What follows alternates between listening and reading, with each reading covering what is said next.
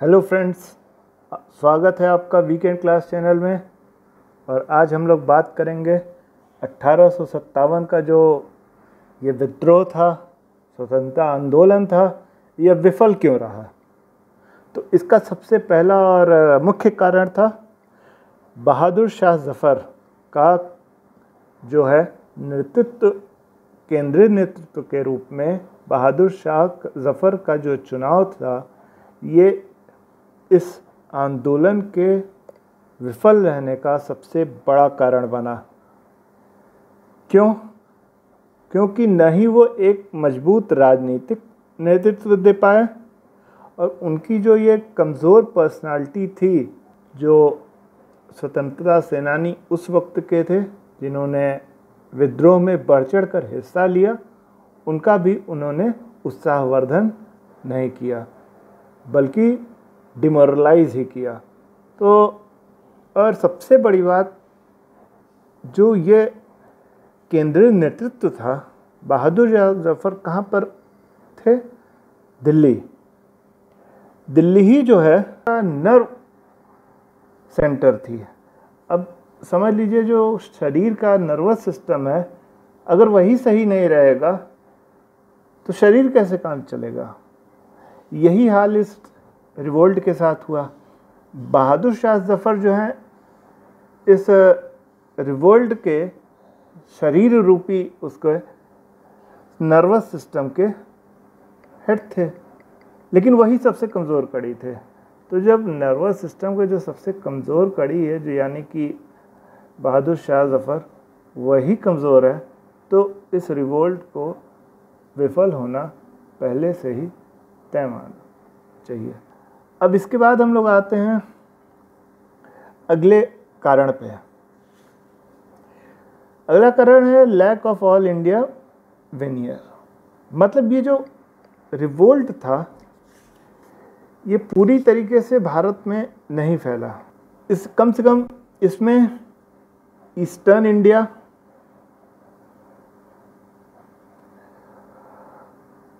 पश्चिमी भारत और दक्षिणी भारत। इसने बिल्कुल नहीं भाग लिया।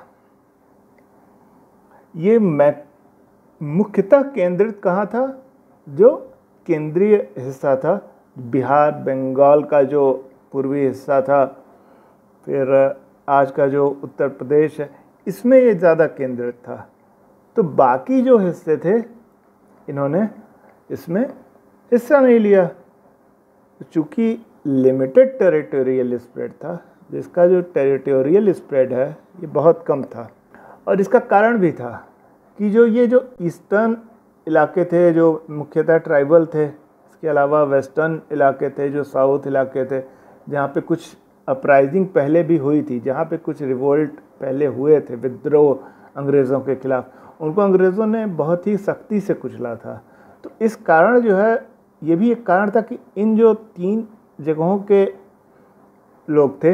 इन्होंने इस रिवोल्ट में जो है, विद्रोहियों का, स्वतंत्रता सेनानियों का साथ नहीं दिया, जो कि एक और बहुत ही प्रमुख रीज़न बना इस सफल स्वतंत्रता आंदोलन के विफल रहने का। अब इसके अलावा जो तीसरा कारण और एक मुख्य कारण था, इसमें सभी क्लासेस जो हैं, वो सभी वर्ग जो हैं, इन्होंने हिस्सा नहीं लिया। इसका कारण क्या था? सबसे पहली बात जो लैंडलॉर्ड्स थे, जो ज़मींदार थे, इन्होंने सबसे पहले इस विद्रोह में हिस्सा लिया।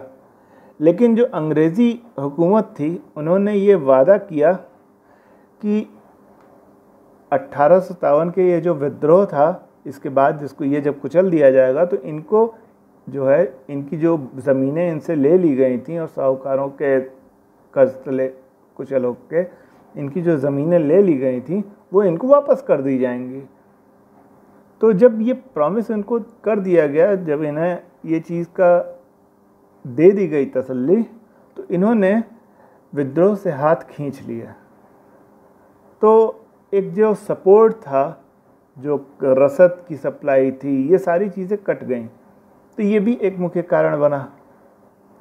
इसके अलावा ये जो साहूकार थे, उनके साथ स्वतंत्रता, ये जो सेनानियों ने अच्छा बर्ताव नहीं किया था। तो ये जो है, एक तरीके से ब्रिटिश एजेंट के रूप में इन्होंने काम किया। इसके अलावा जो पढ़ा लिखा वर्ग था, उसने इस रिवोल्ट को देखा कि ये जो रिवोल्ट है, ये जो स्वतंत्रता संग्राम है। ये जो है, एक तरीके सामंती व्यवस्था को फिर से स्थापित करना चाहता है।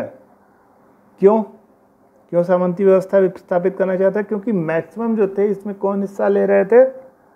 ज़मींदार ले रहे थे शुरुआत में, या जो वे राजा जुगने सत्ता से वंचित किया गया था तो वे अपने हित के लिए लड़ रहे थे। वो एक केंद्रीय कोई हित नहीं था। तो इन्होंने देखा कि एक तो ये चीज़ थी, दूसरी जैसे सती सिस्टम के अगेंस्ट में ये इनमें से कई लीडर ऐसे थे जो सती सिस्टम के अगेंस्ट में थे। तो इन्होंने देखा कि जो हम लोग सुधार करना चाह रहे हैं, उसका तो ये विरोध कर रहे हैं। तो इस, ये भी एक वजह था कि जो एडुकेटेड लीडर थे, इन्होंने साथ नहीं दिया। अब इसके अलावा जो कारण आता है, वो है कई भारतीय शासक जो थे, शासक वर्ग वो उन्होंने अंग्रेज़ों के प्रति अपनी जो है लॉयल्टी वो कायम रखी है। जैसे कि ग्वालियर के सिंधिया जहाँ पे जिनसे रानी लक्ष्मीबाई ने मदद भी मांगी थी, लेकिन उन्होंने इनकार कर दिया था और जा कर के आगरा में छुप गए थे। ये एक थे। इसके अलावा इंदौर में जो होलकर थे, इन्होंने भी स्वतंत्रता संग्राम सेनानियों का कोई समर्थन नहीं दिया। विद्रोहियों को इन्होंने कोई समर्थन नहीं दिया। जितने भी सिख जो चीफ्टेंस हुआ करते थे, जो कि अपने अपने कबीले के प्रमुख हुआ करते थे, जैसे पटियाला के, सिंध के अम्बाला के, ये सभी ने विद्रोहियों का साथ नहीं दिया। इसके अलावा कश्मीर के जो महाराजा थे, इन्होंने भी अंग्रेज़ों का साथ दिया। तो आप एक तरीके से इसको सार के रूप में सारगर्भित तरीके से, इस तरीके से भी देख सकते हैं कि जो पूरा का पूरा रिवोल्ट है, ये भारत का मात्र एक बटे चार एरिया कवर करता था। अगर एरिया वाइज देखिए तो एक बटे चार, और अगर पॉपुलेशन को देखिए तो मात्र एक बटे दस पॉपुलेशन को यह कवर करता था, जो कि इसके विफल रहने का एक बहुत बड़ा और मुख्य कारण था। अब हम लोग अगले कारण की विवेचना करते हैं। तो एक आप जब कोई भी युद्ध लड़ने जाते हैं तो सबसे पहली चीज़ है कि आपके पास हथियार जो हैं, वो बहुत ही आधुनिक होने चाहिए। तो lack of proper arms and ammunitions मतलब आयुध और अस्त्र दोनों से ही जो भारतीय सैनिक थे, जो विद्रोही थे, वो अंग्रेज़ों के सामने कुछ नहीं ठहरते थे। भारतीय सैनिकों के पास क्या था? भाला, बर्छी, तलवार, वो इससे लड़ते थे। इसके अलावा बहुत कम लोगों के पास दोनाली बंदूक थी। तो इससे वो अंग्रेज़ी हुकूमत का सामना नहीं कर पाया खासकर ईस्ट इंडिया कंपनी जिसके पास लेटेस्ट बंदूकें थीं। उनके पास एनफील्ड राइफल्स थे। तो जिनकी सहायता से वो बड़े आराम से जो है भारतीय सैनिकों को दूर से ही उनका सफाया करते गए।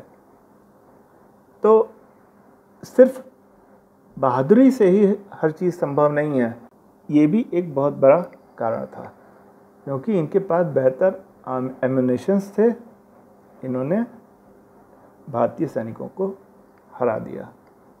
ये एक कारण था। अब इसके बाद एक बहुत बड़ा कारण आता है कि आपकी सेना का कमांडर कैसा है? ये भी एक बहुत बड़ा कारण होता है किसी भी सेना के जीतने या हारने का।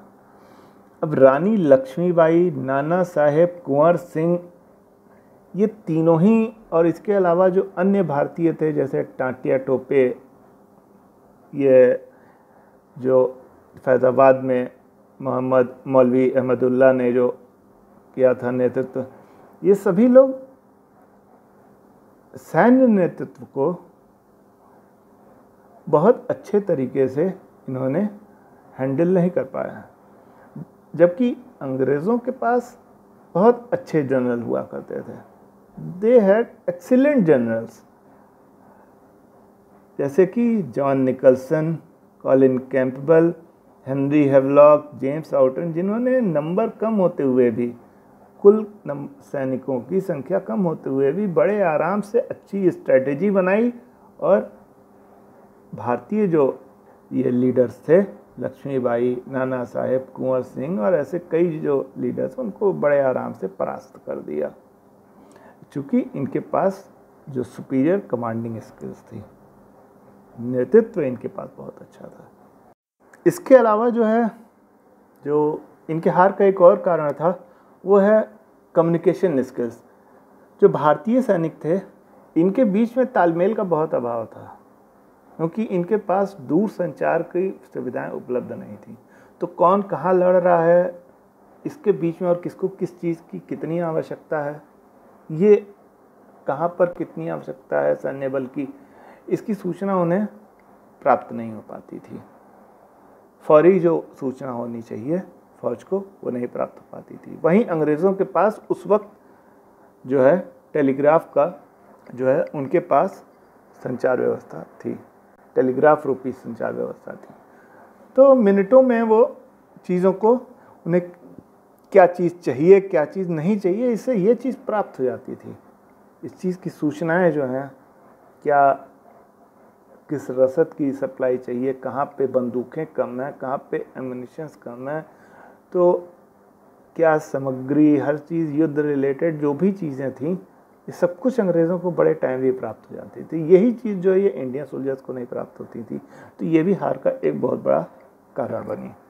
इसके साथ एक होता है कि एक विचारधारा जो कि सभी को समान रूप से प्रभावित करे, वो जो है इन सैनिकों में नहीं थी। लैक ऑफ़ कोहरेंट आइडियोलॉजी समान राजनीतिक विचारधारा भी नहीं थी। इसके अलावा ये जो सैन्य विद्रोह अगर सक्सेसफुल हो जाता है, इसका सोसाइटी पे क्या असर पड़ेगा? इसका भी कोई इन्हें अंदाज़ा नहीं था। और सबसे बड़ी बात इसके अनसक्सेसफुल होने की थी कि क्यों ये असफल हुआ? क्योंकि लोगों के ये पर्सनल ग्रीवांसेस पे था। मतलब कुंवर सिंह की ज़मींदारी ले ली गई रानी लक्ष्मीबाई की जो झांसी का था उन्हें रिकोगनाइज नहीं किया गया नाना साहेब को पे, पेशवा नहीं बनाया गया। तो ये सारे कारण थे और जो कि बहुत ही व्यक्तिगत कारण थे।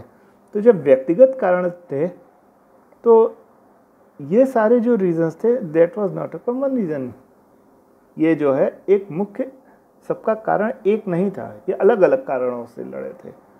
दुश्मन एक था, कारण विभिन्न थे। तो जब तक कारण भी एक नहीं होंगे तो दुश्मन को पराजित करना मुश्किल होता है। तो ये एक बहुत बड़ा कारण था, जिसकी वजह से भी जो है, बहुत ज़्यादा संख्या बल होने के बावजूद और बहुत बहादुरी से लड़ने के बावजूद जो है, भारतीय सैनिक जो है, भारतीय विद्रोही, वो हार गए। अट्ठारह का स्वतंत्रता संग्राम। लेकिन अंग्रेज़ों को एक सीख तो मिल गई कि भारत में अब लोगों को दबाना इतना आसान नहीं है। दूसरे, भारतीयों को भी जो है, सबसे पहली बार एक नेशन के रूप में, एक राष्ट्र का जो है राष्ट्रवाद जो है, उसकी भावना भारतीयों में जगी। उसके अलावा रिलीजियस डिफरेंस थे, ये सारे मिट गए। मुग़ल सम्राट को अगर राजा बनाया गया, इसका मतलब कि सारे लोगों की जो आस्था थी, सारे जो लीडर्स इनमें जो पार्टिसिपेट किए थे, इन्होंने माना कि जो भारतीय शासक है, वो मुग़ल है। बिना उसमें धर्म और जाति के भेदभाव के, इन्होंने दिल्ली के शासक को शासक माना, पूरे भारत का शासक माना और अपने को उनके अधीन माना। बाकी हम लोग जो है, क्यों इसका क्या समाज पर प्रभाव पड़ा और लोगों ने इसको किस परिदृश्य में देखा, ये सब की जो विवेचना है, ये हम लोग अपने अगले एपिसोड में करेंगे। देखिएगा ज़रूर, लाइक ज़रूर करिएगा। धन्यवाद।